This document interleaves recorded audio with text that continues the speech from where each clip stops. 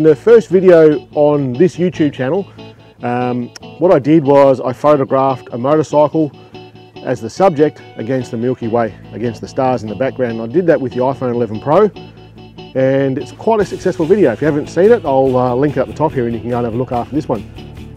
But after that video, I had a few people ask me, how did you put light onto the motorcycle? And in that video, I used a little Honda CT 110. It's an old Australian post, Australia Post bike. And it's a, it's a little bike that we use here on the farm. Um, it's red, it's not reflective, it was a pretty easy bike to get into focus. Um, so in this video we're going to answer those questions. We're going to answer how do we get the motorcycle in focus or the subject in focus and how do we paint the light onto the subject. With this motorcycle however, and this is a uh, Triumph Tiger 800 XRT, it's 2018 model. Um, where we live here in Cohuna in north central Victoria, we've got a lot of long straight roads, wide open country and there's a lot of dirt as well, a lot of dirt roads. So this bike here I've taken all over the place. I've toured Tasmania, I've been up New South Wales with it, been all over Victoria with it, um, and I've even touched into South Australia with it. Um, but uh, this is a this is a great bike for just touring up the miles here in Australia. Um, it eats up the miles, no worries at all on the bitumen, and it gets into the dirt pretty quickly as well. But this motorcycle will pose some problems when it comes to light painting. If you look on the sides here and on the front, there's a lot of reflective surfaces. So when we start photographing the, the sky, and this will apply to any single subject that's got a reflective surface, you need to be mindful of how much light we put onto it so that we keep the reflection of it down so we don't lose the subject of, of the Milky Way. So in this video, we're going to talk about how to light the subject, and we're going to talk about how to get the shot with the stars and the subject nicely in focus. All right, let's get into it.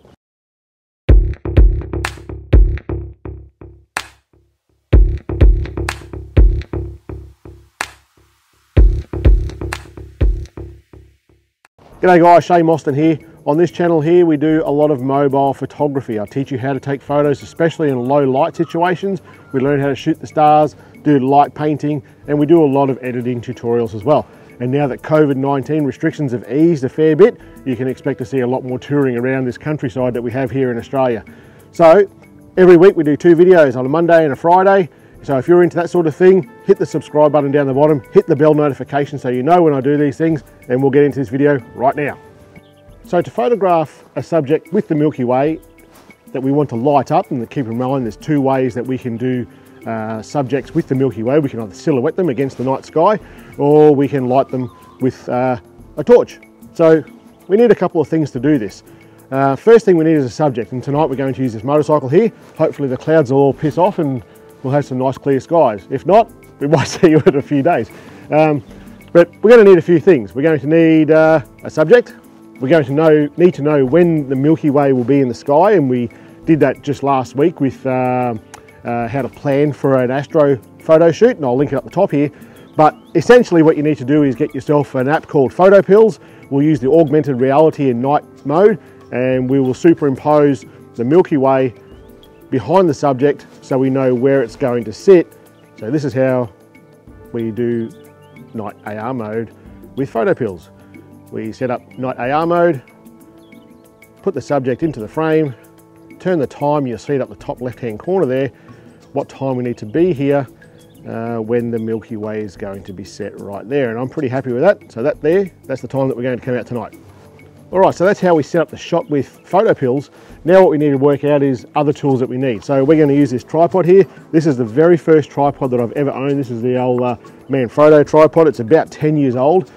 Tripods, when you buy them, uh, they're all about the weight that they carry. All right, that's, that's the most important thing, how much weight it can handle. So I bought this one to handle the weight of my Canon 5D with a 7200mm lens on it. So it's a pretty heavy duty sort of tripod. It folds up pretty small, but um, I've had it forever and a day and I use it for, I use it for almost everything.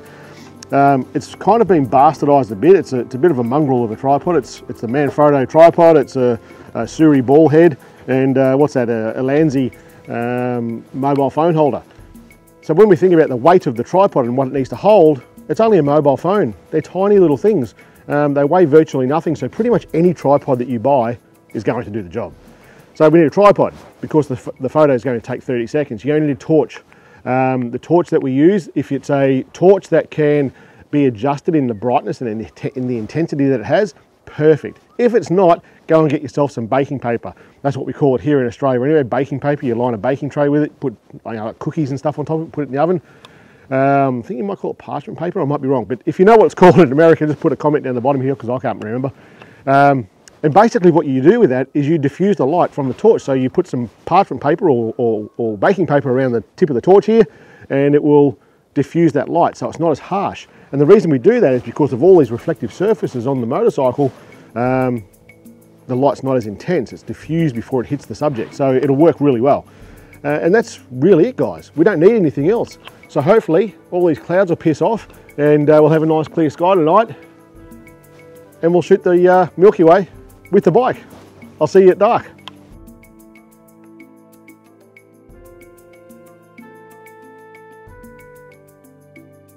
Obviously, it's dark now, guys. So we've got the motorcycle still sitting where it was today.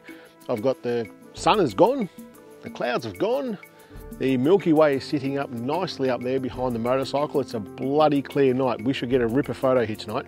What we're gonna do first is show you how we compose the photo because it's pitch black. There is not a light besides this video light. There's no other lights around. So we need to work out how we're going to make sure that the frame of the photo is going to encompass the motorcycle and the Milky Way. So what we need to do is set the camera up on the tripod, we shine a torch, a more powerful torch so we can see it through the uh, phone of the subject and you'll see what I'm talking about here when we record it and I'll get into that now. All right guys, we've just set up the phone on the tripod. Now what we need to do is compose the photo. So we're going to use a torch and the torch is going to light up the motorcycle and we can see there on the screen it's not quite in the center. So if we move the camera and the tripod so that we're happy with that composition, and I'm pretty happy with it right there. Now I can tell you right now that the Milky Way sits up behind there, uh, and we saw that today with the PhotoPills. So I'm happy with that composition. Let's get on to take this photo.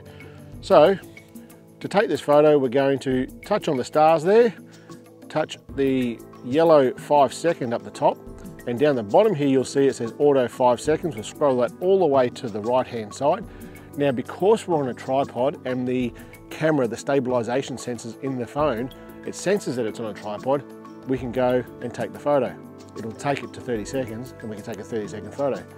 Hit the start button and off we go. We're not going to light the subject on this photo. We're just going to see where the Milky Way sits and with any luck, because we've got the tripod so low, we should see that the motorcycle, the front, the handlebars, probably the windscreen, is going to be all silhouetted in the night sky.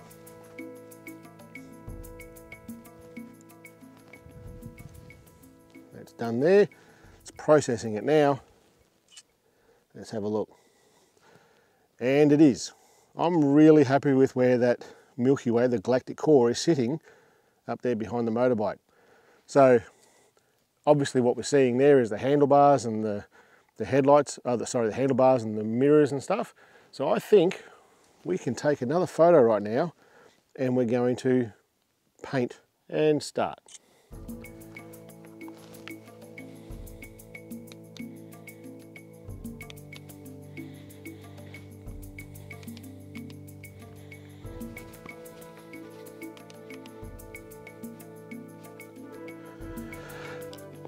That should be all the light that we need on that one.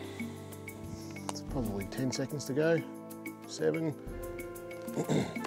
six, five, four, three, two, one. Let's have a look at this photo.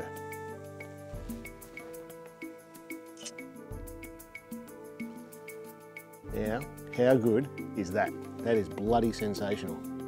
It's pretty well in focus. Stars are a little bit out of focus, but hey, I'm gonna live with that absolutely chuffed with that photo. All right, that's it guys, that's how you do it. All right, let's get into a little bit of an edit. So what I'm going to edit this photo with is Adobe Lightroom Mobile. I've imported the photo. First thing we're going to do is go into the light. I'm going to increase the contrast. What I'm looking at here is decreasing how bright the headlights and because it's a chromy looking front end on that motorcycle, we want to bring that down a little bit so it doesn't detract from the whole photo. So we're going to bring the highlights down a little bit. very small amount, happy with that. Uh, let's bring up the shadows so we might get some of the detail of the front end of the motorbike without taking too much of the highlight up. Yeah, I like that. I like that as well. We'll increase the blacks. See the blacks. What the blacks increasing the blacks will do. Look at the um, sky behind the motorcycle there, and you can see we're getting more detail in the core. So we'll increase it a little bit, and that's pretty good right there. As far as the color goes, I usually try and keep my Milky Way photos a little bit cooler. So we don't want it up like this, it looks just too orange and unnatural. But because we take these photos generally through winter, certainly here in Australia, it's colder. So I like to keep that colder. I tend to add a little bit of magenta to these photos, um, increase the vibrance a little bit. No, I'm happy with that. I think that looks pretty cool. Let's look at the effects. We'll increase the clarity and we'll increase the dehazing. I like that. We're going to go to the selective tool and we'll add a selective tool, we'll paint it on, and I'm just going to paint in that galactic core a little bit there. Zoom in a little bit, take it up a little bit higher there. Yeah, I'm happy with that. What I'm looking to do here is increase the temperature of the core, and we're going to add some clarity to the core. And you can see there what it's doing, it's bringing out a lot of detail in that galactic core and a little bit of noise reduction. We'll hit the tick on that one and we'll go across to detail. We're not going to sharpen anything up in this because it's all pretty well in focus anyway, but we're certainly going to reduce some of the noise. There's a lot of digital noise that comes from the small sensor on the iPhone. Can't help that. That's just the way it is. So we'll increase the noise reduction to around 20. I think that's pretty good. The last thing I like to do with these is go to the effects tab. We're looking for the vignette and we're going to increase, increase decrease the vignette so that it gets a little bit dark around uh, the corners of the photo, certainly around the bottom. Because I've shone the torch there, you can see there when you when you increase or decrease the vignette or make it darker around the edges, um, it tends to add a little bit more drama to the photo. And that's pretty cool. I like that photo and we've saved it. All right, that's that. Well guys, that's how you get everything nicely in focus when you're doing Milky Way photos with a subject in the foreground. Now, like I said earlier, you can two ways to do it. You can have a silhouette photo where you're silhouetting something against the night sky. Then it certainly works if it's a very clear night and you've got no light pollution. It works really well. What I like to do most of all though is light painting a subject, using your torch light to light that subject up. And when you've done it the way that I've just shown you how to do it, things will tend to be in focus for you most of the time. If it doesn't work the first time, like I said, just try it again and it will work for you. All right, guys, that's it for today. I hope you really enjoyed that. If you did, give me a like. Um, if you're not subscribed to my channel, subscribe to the channel. You've got two videos coming out every week on a Monday and a Friday. Most of it's to do with astrophotography with the phones, uh, but there's certainly plenty of other photography tutorials with mobile phones. All right, guys, I'll see you next time.